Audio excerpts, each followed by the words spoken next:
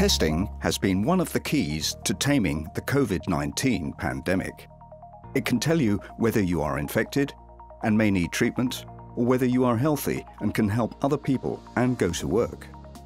However, most people still do not know whether they are infected, have already had COVID 19, or can work and visit their loved ones.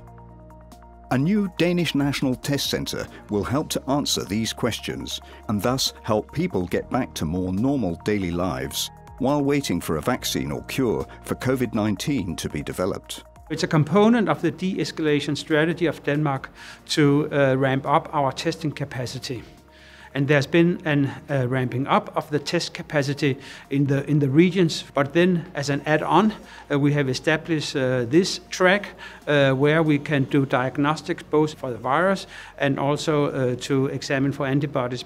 So in this way, it's it's an add-on uh, to the existing healthcare services and diagnostic services in order to be sure that everybody who wants to be tested for whatever reason has an access to doing so.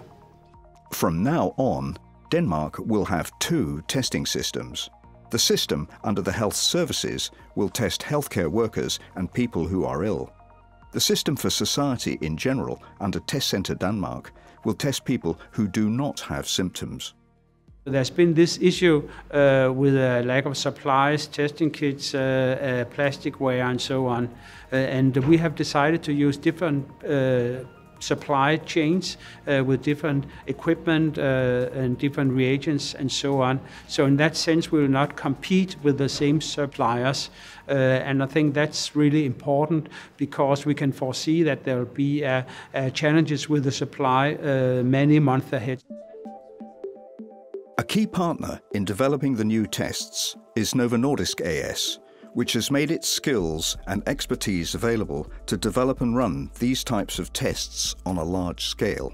One of the things we've done is we have made a test that is now becoming solely dependent upon reagents that Novo Nordisk itself can actually uh, either develop or, or access in a way that will not compete against others. Moreover, we've been able to scale up this PCR testing for the coronavirus in, in such a way that it's available in thousands and thousands on a daily basis. And that is something that also is with a, a precision and robustness that I think is, is beneficial. Together with other partners, Rigshospitalet in Copenhagen and Novo Nordisk are closely collaborating on both the virus test and the even greater challenge of developing a sufficiently reliable antibody test to determine whether people have had COVID 19. We have accessed, you can say, the very relevant plasmid, we call it, that codes for the specific protein, the protein we know the viruses uses to get into the human body. It's at the same time the protein that the human immune system reacts with antibodies against. So, so by expressing that, being able to take that protein, put it onto the plates, and then test all the various blood samples uh, are there antibodies against this protein? That that will be a whole new assay that, that we develop and will make available to our colleagues. This new and more accurate antibody test will soon be ready for large scale use by Test Center Denmark at Statens Serum Institute in Copenhagen. But a key part of the project, implemented in Denmark's regions, is building a system that ensures that tests are conducted throughout Denmark and then transported to Statens Serum Institute for analysis. It has involved probably 15 different governmental uh, and regional authorities, uh, including the Prime Minister's office, uh, the Ministry of Health, several directorates below the Ministry of Health, the police force, uh, the national defense, and then, uh, not least important, also Novo Nordisk AS, the pharmaceutical company, as well as the Novo Nordisk Foundation. All of this is under the leadership of the disease control uh, that in Denmark is called SSI, uh, that oversees and manages and owns the whole initiative. The new test centre will become a fantastic research resource for combating COVID 19 and will answer key questions on whether natural antibodies provide immunity or whether there is a risk of reinfection, and whether specific types of tissue and blood increase people's risk of transmission and severe symptoms. The capacity we have will be used in epidemiological uh, in investigations. It will be used as a part of uh, contact tracing to test people who have been in contact uh, with people who have the disease. And it can also be used to test people who work with vulnerable people. That could be people at nursing homes. In particular, if there is a, like a situation with an outbreak in a nursing home, it's important to be able to test the staff.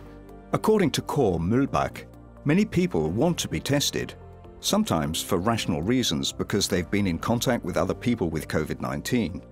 In other cases, the psychological benefit of knowing for certain that you are healthy can be even more important. We actually believe that we can contribute to Denmark uh, opening up in, in a safe way so that people don't suffer too much, but at the same time, we're able to get back to work and, and live a relatively more normal life.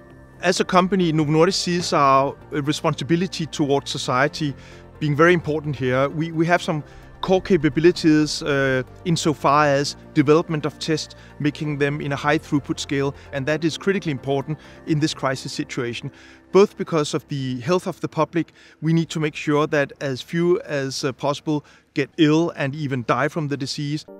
Novozymes has also contributed critical testing equipment in the form of robots as a significant resource to realize this new tool to combat COVID 19. Through this unique collaboration between public and private actors, the new Test Centre Denmark has been built and prepared for operation in less than one month.